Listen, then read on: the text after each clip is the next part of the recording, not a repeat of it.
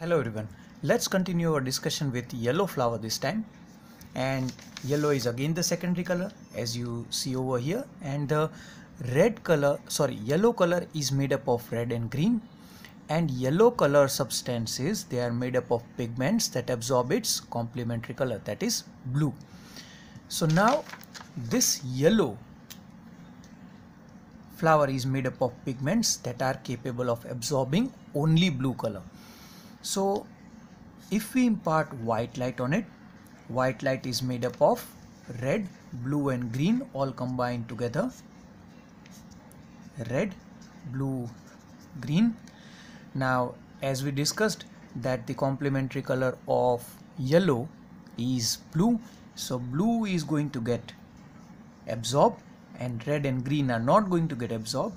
So red and green they are reflected and finally comes to our eye.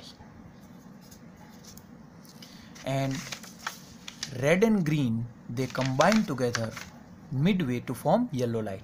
So white light when falls on yellow flower blue gets absorbed red and green doesn't get absorbed mix together in the reflected light and we perceive the flower color as yellow. Let's impart red color light on it. Now this red color light is not going to get absorbed by the pigments of the yellow flower. So red is entirely going to get reflected and reaches our eye. So we see the yellow rose as red in red light. If we impart blue color now this blue color will be totally getting absorbed by the pigments. So no light reaches our eye. And that's why we see the black. We see yellow flower as black in blue light. If we impart green color green color also doesn't get absorbed so totally gets reflected comes to our eye as reflected light. So in green light yellow flower appears green to us. Now let's impart some magenta light on it. So magenta light. Now magenta is made up of red and blue so we can also consider this magenta light to be made up of red and blue light together. And we know that the blue light will be totally getting absorbed by the pigments. Now, so blue light is not going to be there in the reflected light. So in the reflected light, we will only see red color which is going to reach our eye.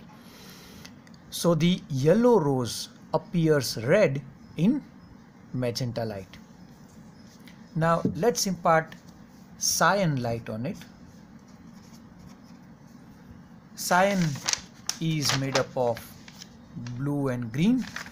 So we can consider that the cyan light is made up of two colors that is blue and green and as we discussed that these pigments are going to absorb blue color so blue color is going to get absorbed so green color will be there in the reflected light finally reaching our eye and we perceive yellow rose as green in cyan light. Okay and the last light remaining is now yellow.